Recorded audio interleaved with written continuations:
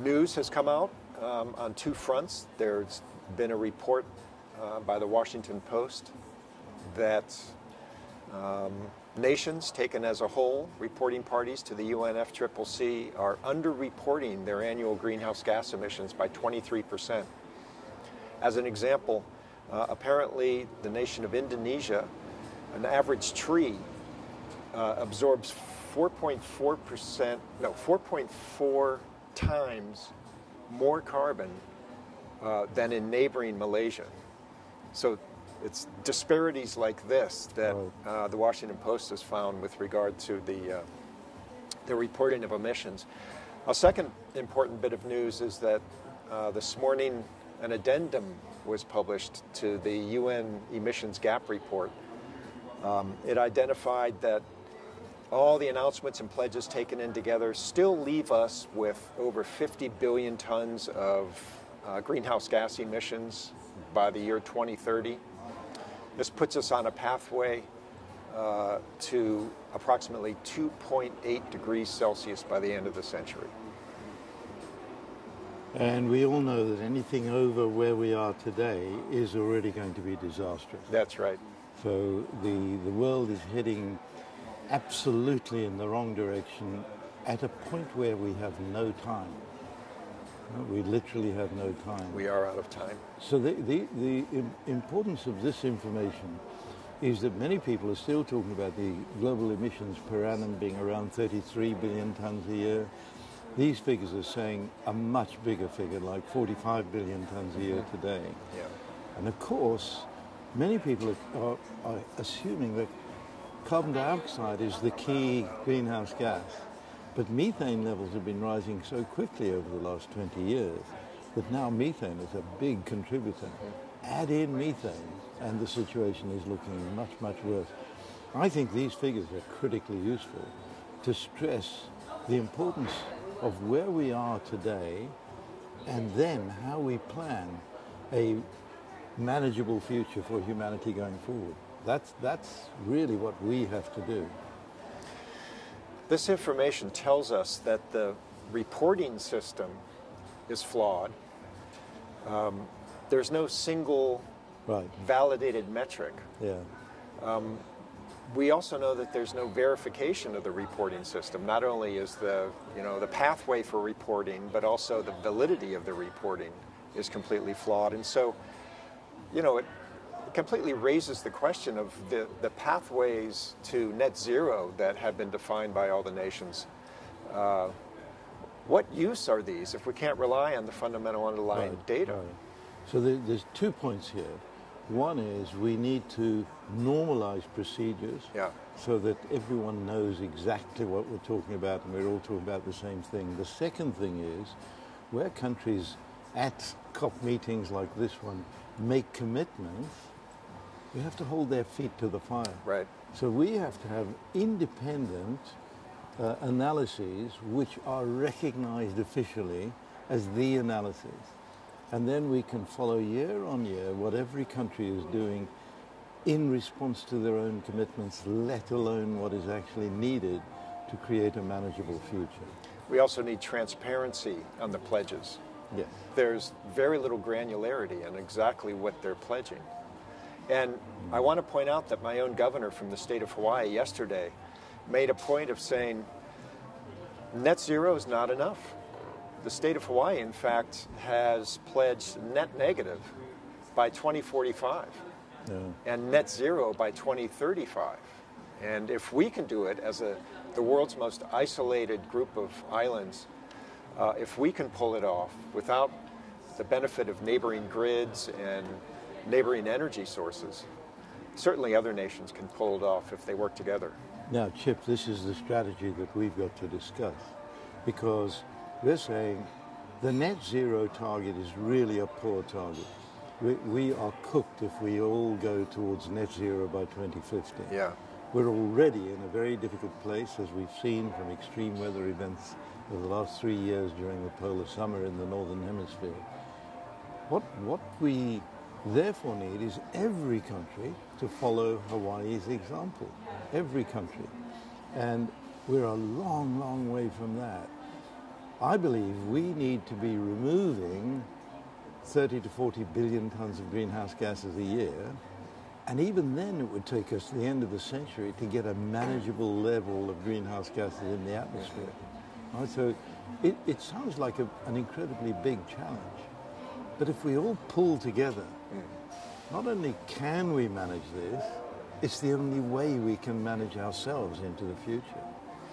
So the new IPCC report that came out in August of 2021 told us several new things. One of which is that melting of the cryosphere, Antarctica, the alpine glaciers of the world, and Antarctica, is now essentially irreversible. Yeah. And thermal expansion of the ocean, which constitutes almost half of global sea level rise, is also essentially irreversible.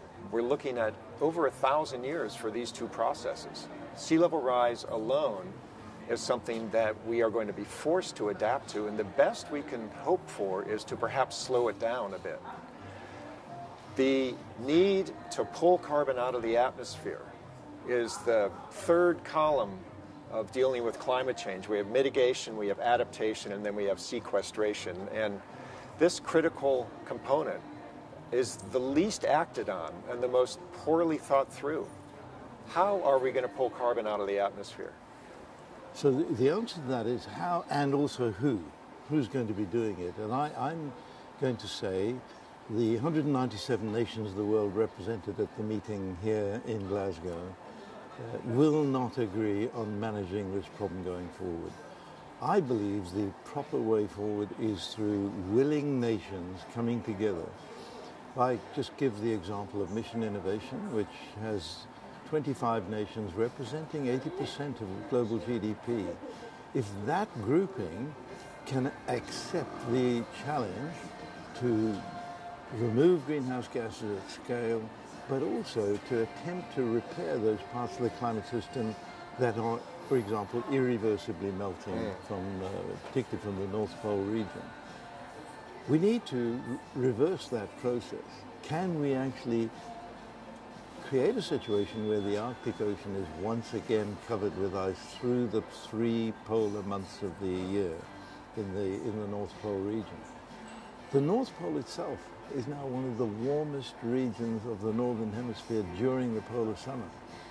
Now, we've just got to reverse that or else, as you say, sea level rise is just inevitable. And it's warming at three times the global rate of warming. Yes, yeah. So, two things here. What do you feel are our options for pulling carbon out of the atmosphere? And what are the techniques for refreezing the Arctic, as you put it? Okay, big leading question. so uh, we, we're trying to work on a whole range of different technologies, and Chip, you, I know, are looking at what we're doing and seeing how we can collaborate because we need all to pull together on this.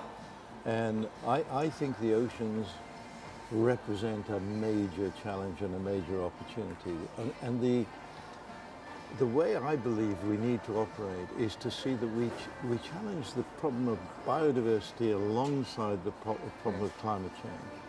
So one of our programs is on marine biomass regeneration. Can we return the oceans to the population of fish and mammals that existed three or four hundred years ago before we, humanity, started farming oil by taking whales for their blubber, which is really what we did around the oceans of the world. And can we reverse that process? We're at less than 1% of the whale population that we had before. And it turns out the whales are critical. They're bottom feeders, they come up to the surface to produce excrement, and, and that is the fertilization of the sea mm. surface, which is in the sunlight and generates a nice green area phytoplankton, foodstuff for fish larvae, away goes the fish population. The whales were a critical part of the circular economy of the oceans, and we removed them. Can we pull the whale population back? Now that's one of our focuses, and I do believe that if we can manage this, we can also manage to remove possibly tens of billions of tons of greenhouse gas per year. Hmm. Now, I think the idea of keeping an ice layer over the Arctic Ocean through the uh, three months of the polar summer can be delivered if we can put white cloud cover over the Arctic Ocean for those three months. Now that sounds very challenging and very dramatic, but I believe there is a pathway to do it, and again using the natural processes of the ocean. When there's a storm at sea, we create tiny droplets of water, get carried up by updrafts, and they produce white clouds. So can we mimic that process and then surround the Arctic Circle with these machines in the ocean that are mimicking that process so we activate those where the wind is blowing towards the Arctic Ocean. Now if we could manage that, we keep the ice layer that is formed during the polar winter over the sea during that polar summer and then build it up year upon year. We're going to have to continue that if we start doing it for at least 40 years until we can get greenhouse gas levels down to a manageable point. We, we have lost something like 95% of the multi-year ice in the Arctic. The ice that we see forming now is one to three years old. Right. It's at such a fragile status right now. Yes. And it is Earth's refrigeration system. Mm. Refreezing the Arctic um, is an enticing idea. How do we handle the potential negative impacts that we aren't sure about? We have to always proceed carefully. Now, we don't have much time, so we also have to proceed as quickly as we can. Everything depends on how much funding we can raise to achieve this. But I, I think what, what we need to do, and we're planning to do this from the Faroe Islands, north of Scotland, uh, is to generate white cloud cover there and, and follow in detail whether there is any negative impact of creating these white clouds. I don't believe there will be, but we have to actually satisfy everyone and do very, very careful work on, on following the behavior of these white clouds. Once we've, once we've got through that, and maybe this is going to take five years to get to that point, then we get into the business of building these ocean vessels, which I think we have a very clever design for, and we can start one vessel at a time. Once we've proven that with the vessels, then I'm talking about quite a period of time, 10 years before running this fully. And I wish that we could do it in six months, because that's the kind of timeline we really need to operate. Yeah, we are in a crisis situation. The house is on fire. We also have agriculture as an incredibly important tool on the table. Um, our global food system is broken. We have over 900 million people who are uh, not getting enough to eat, and we have over a billion people who are characterized as obese or near obese. And much of our food system uh, has been produced at the expense of the world's forests. Unfortunately, we can't just replant our way out of this problem because the majority of carbon in a forest is in the soil. And simply planting trees uh, doesn't uh, quickly inject the carbon back into the soil. In fact, new studies have shown that within the first 20 years of a newly growing forest, it's actually a net source of greenhouse gases and not a sink. Um, but agriculture itself, how we treat soil, uh, I think is due for a revolution. Yeah, Rather agree. than flipping soil over so that the carbon meets the oxygen and we have CO2 and nitrous oxide and methane streaming out of our soils, we need to adopt what have long been known as uh, indigenous soil practices or regenerative agriculture, or in the United States known as simple soil conservation. Get away from plowing, use cover crops next to our uh, food crops, and if we can get the world's agriculture system uh, to embrace this new type of soil treatment, we could be simultaneously pulling carbon down at the same time that we're growing food from the same soil. and of course, there's another problem fertilizers. We're taking nitrogen out of the air, which is fine, there's a lot of it there, to make ammonia, to make ammonium nitrates, to feed into the soil. And the runoff produces nitrogen, nitrogen oxides, which go into the oceans, and again, that's toxic in the ocean. That's right. So we, we have a whole series of farming challenges. The proud to say the British government did a series of really important experiments in Ethiopia and West Africa, right, where, where we, we got the permission of the local governments and farmers to divide farms up into strips of land. And one, every alternative strip, the entire agricultural process was regenerative in the sense that we, uh, we brought in compost uh, to, to provide the fertile material. And it took about five to ten years to mm. get these strips up to the same level of productivity as the strips where fertilizers were put in and chemicals. But en route to that, there was a wonderful little lesson. In Ethiopia, just after the seeds had been planted in both the nature of strips, there was a drought.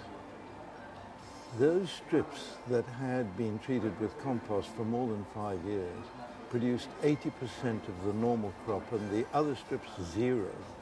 No kidding. And the reason is quite simple. Earthworms had returned to those strips. The other strips were devoid of earthworms, killed by the chemicals and so on. And so the earth was aerated. It also took up water right into the earth. Right. On the other strips, the water was just running off during the rainfall period. That's what, what we learned unexpectedly was a critically important lesson. If I take you to my part of the world, around Cambridge, East Anglia, very, very big farm area, very flat land. We're a bit like Holland here. And I doubt whether there are earthworms in that part of the country. Right? It's entirely flattened off with fertilizers and chemicals. Now, in our gardens, we have earthworms and we know what an important function they perform. Imagine the low carbon level in those farmland soils. Now, of course, Yeah. the United States is in the same position. So we, we need a, a revolution. It takes a long time and a lot of patience. Those experiments we performed in Africa were extremely expensive. We had to buy the compost in. Once you've got the farmland to where you want it to be, you're no longer ploughing, you're drilling for seeds, etc. It becomes relatively easy because the, the leafy material from the crop is what makes the compost. And so it becomes a totally circular process. But you have to build up to it from, from the farmland that has been destroyed by these normal farming practices. In summary, allowing nature to do what nature does Yeah. best, right? um, restoring uh, the marine ecosystem, restoring soil to its appropriate level of health, uh, restoring the Arctic as Earth's refrigeration system. This is this is what our chore is. And we need to bring, therefore, indigenous people into these discussions. Absolutely. You, know, you learn so much from the people who have learned how to live in a way that is regenerative. Yeah. Yeah. Well said. Good. Ha ha ha.